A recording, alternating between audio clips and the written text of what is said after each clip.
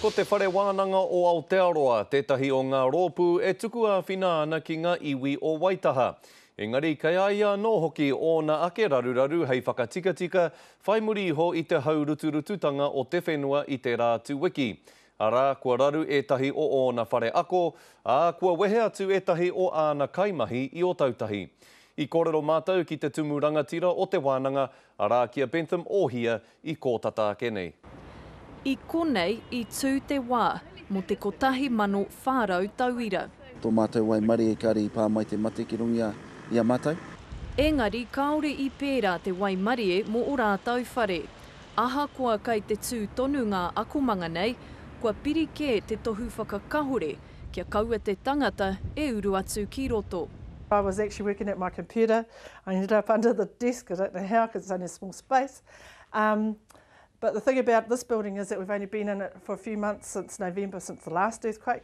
Inā te māharahara kei roto tonu i ngā kaimahi 50 e mau ana, ā, kei te hukihuki tonu te wairua o te nuinga. Mō mātou tuatahi me whakarōpūhia anō hoki me kī ngā kaimahi o Te Wānanga o Aotearoa ki, ki tēnei rohe o tātou. Tuatahi ki tāwhina i te iwi o Kāi Tahu, otirā mā tā waka me ngā whānau katoa o tēnei rohe. Onion for a white sauce for 40 people. Ko Rehua te tūranga waewae mō tēnei wā. Kua noho tēnei marae hei pokapū mō te iwi Māori i roto i ngā rā tata. Ahakoa te aha, kai te pakari tonu te mahi a ngā ringawera ki te whāngai i te hunga kore kāinga, ki ngā kaimahi Māori hoki e tuku āwhina ki te marea.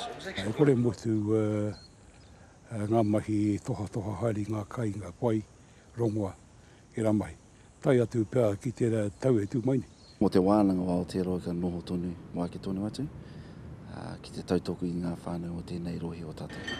Koinā te tino karanga o te wā i Otautahi ināia tonu nei. Me whakapau kaha te iwi ki te mahi i te mahi, engari he tirohanga roa mō ngā hiahia e pīkauhia nei e rātou. Jasmine Pearson, Te Karere.